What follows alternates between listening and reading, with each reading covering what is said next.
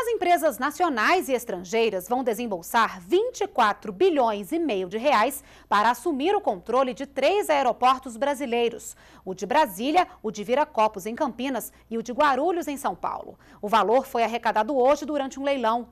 Juntos, esses três aeroportos operam 30% dos passageiros e 19% das aeronaves do sistema brasileiro.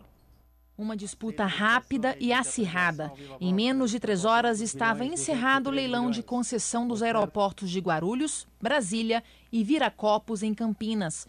O valor total de arrecadação inicial ficou em 24 bilhões e meio de reais, quase cinco vezes maior que o valor mínimo definido pelo governo. Continuamos, obviamente, é, com uma sinalização muito positiva é, do país de que é um, é um local em que os investimentos são seguros e são rentáveis, porque ninguém dá um lance que não seja é, adequado à sua expectativa de resultado. Jamais saberemos qual é exatamente o negócio, o seu, o seu retorno, né? mas sabemos que, de novo, o país deu uma demonstração de que é um ambiente seguro para investimentos, não só para os nossos investidores internos, mas também para investidores de outros países.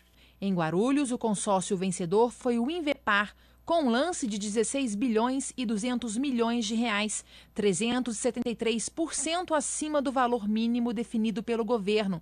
A concessão será de 20 anos. O aeroporto de Brasília ficou com o consórcio Inframérica, com a parceria de uma empresa argentina. O lance foi de 4 bilhões e meio de reais, 673% acima do valor inicial. A concessão será de 25 anos. Já o aeroporto de Viracopos será administrado pelo consórcio Aeroportos Brasil, que ganhou o leilão com um lance de 3 bilhões e 800 milhões de reais, 159% acima do mínimo exigido pelo governo. O consórcio terá como sócia uma empresa francesa. Viracopos tem a concessão mais longa, 30 anos.